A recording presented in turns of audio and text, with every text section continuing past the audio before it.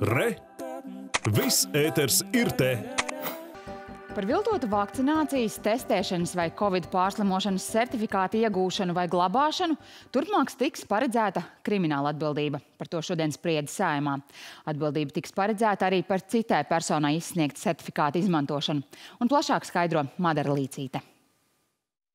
Sēmas juridiskā komisija izstrādājusi likumu grozījumus pēc sabiedrībā izskanējušās informācijas par viltotu certifikātu izmantošanu. Ar likuma izmaiņām iecerēts noteikt, ka par šādiem pārkāpumiem sodīts ar brīvības atņemšanu uz laiku līdz vienam gadam, īslaicīgu brīvības atņemšanu, piespiedu darbu vai naudas sodu.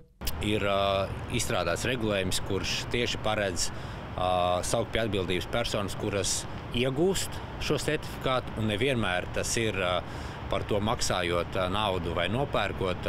Šie veidi varētu būt dažādi, kā arī par šī pretiesiskā viltotā certifikāta glabāšanu. Un, tas viennozīmīgi, manuprāt, ir ne tikai kā labs instruments tiesību sargājušām iestādēm, lai atvieglotu to darbu, bet, manuprāt, arī ļoti jaudīgs preventīvs līdzeklis. Vienlaikus paredzēts, ka no krimināla atbildības varēs atbrīvot tās personas, kuras pēc noziedzīgo darbību izdarīšanas labprātīgi paziņos par notikušo un aktīvi veicinās tā atklāšanu un izmeklēšanu.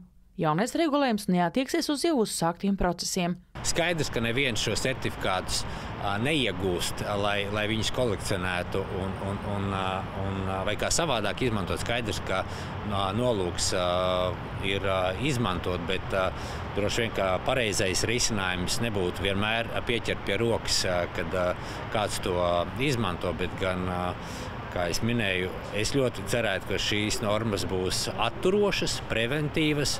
Plānots, ka jaunais regulējums būs izmantojams arī citu ar vakcīnām ierobežojumu slimību izplatīšanas gadījumā. Līdz šim par fiktīvi iegūtu certifikātu izmantošanu varēja sodīt par dokumentu viltošanu.